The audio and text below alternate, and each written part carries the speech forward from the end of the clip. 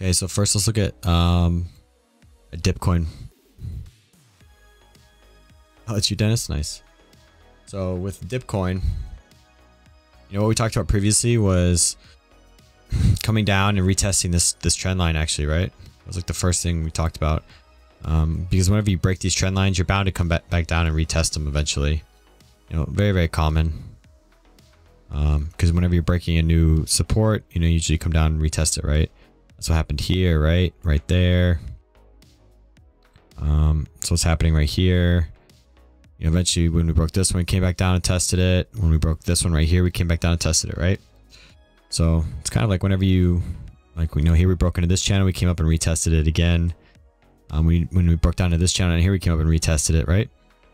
Hey, what's up, Samir? So, you know, that's just a very common price action that you see happen.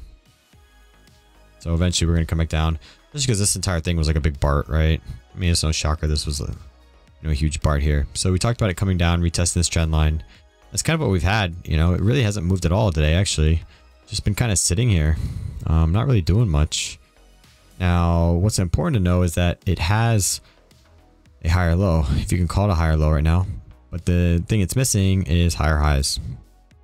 So don't be fooled, you know, looking like, hey, this thing is definitely going up 100%. No, not quite. Until we start making higher highs. So when you see something like this, you know, you need to trick your brain into thinking, this is when you need to be shorting, right? Whenever you're at these highs, think about shorting and have confidence in it, right? Have confidence that when you're testing these highs, this is where you should be shorting, not longing. And if you keep doing that, if you trade with those good like fundamentals, those um those good basics, then you're gonna be doing well on most of your trades. Okay. Like nine out of ten trades. If you trade with those that discipline, that's when you're nailing all your trades. When you're trading with that discipline. So in this case, I would be looking for the short right now. This exact moment, I'd be looking to short. And my stop loss would be on the other side of this when you're making a higher high, somewhere up here.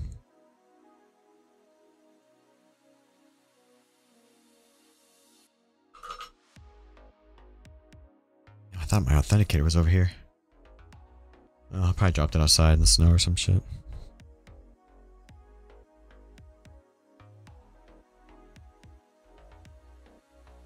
So for Bitcoin, key levels. It's quite a few here. Um, so remember to be long at supports, right? To be long at supports, shorting at the tops. Um, you know, all this was one big BART here. So, you know, we talked about maybe, you know, short up here. We didn't talk about it at that area. We talked about it up here at 19.1. We didn't quite make it up there yet. But Bitcoin's at a very decisional point here. It's really interesting.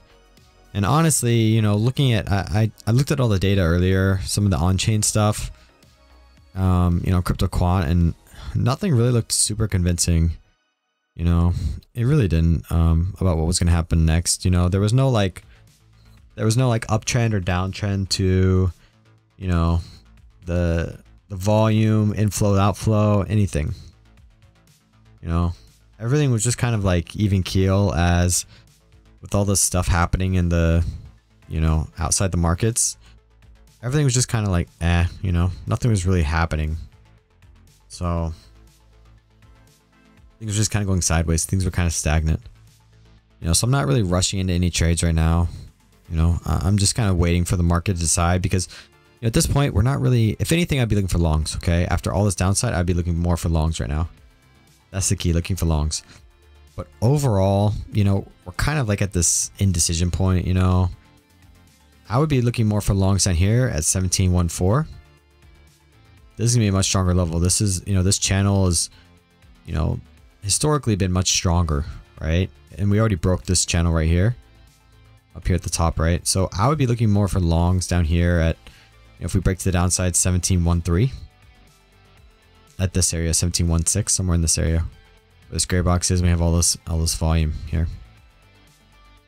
All right if I'm looking for shorts, you know, I, wasn't really that convinced by all this upside here.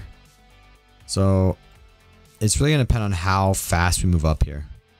I could see us coming up and making a lower high and then literally falling off the face of the earth.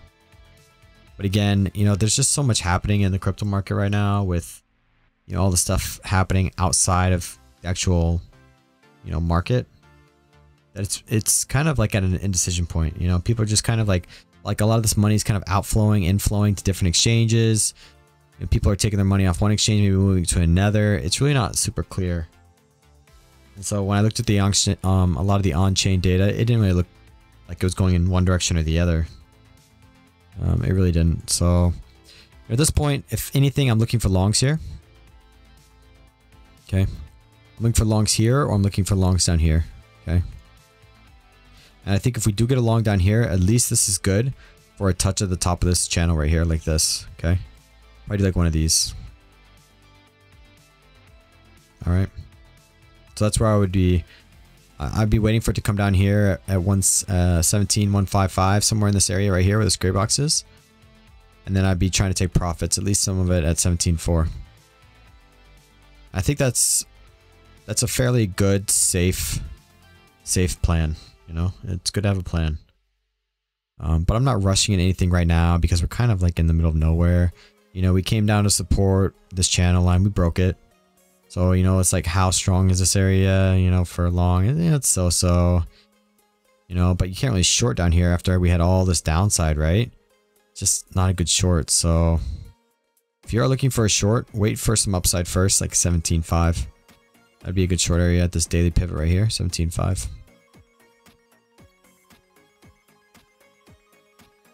But again, I wouldn't be entering in anything like high leverage. It's not a super key level or anything like that your real key level is going to be way up here, you know, like, you know, the top of this range, like 19.2, 19.1. This is where your, where your real, real key levels are.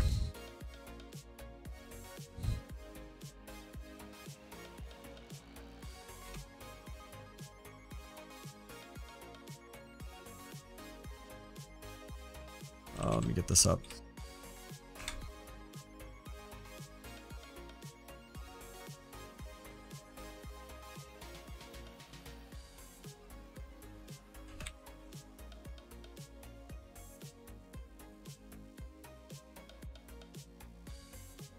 Oh. oh. Big. He said.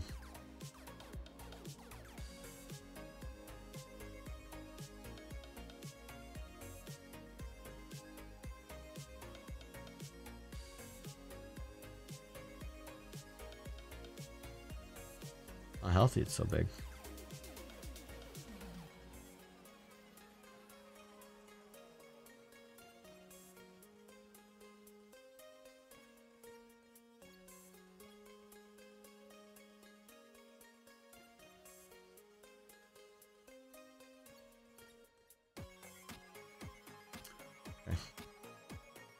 Hopefully that makes sense to everyone.